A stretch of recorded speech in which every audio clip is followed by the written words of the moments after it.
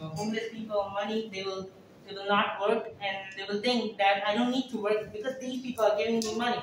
That's true. And the another point. Compliment him. Compliment him. Exactly. They will be habitual of getting money. So actually, they're saying they will get habitual of receiving money, and instead of working or doing hard work, they will not work, and they will they will want you guys to give them more and more and more every time they need. Exactly. Okay. Yeah. So Another that's the point. Another example.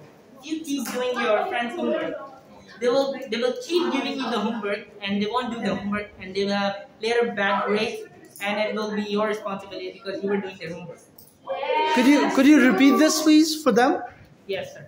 For example, if you keep Look doing at their that. Look at that. for example, if you keep doing their homework, they will keep giving the homework because they know you're gonna do it. In exams, they will uh, they will having bad grades because you were doing their homework. That's Okay. Yeah, that's my I can tell that from experience. Okay. So Sumuk has got some more points to share. Please, Sumuk.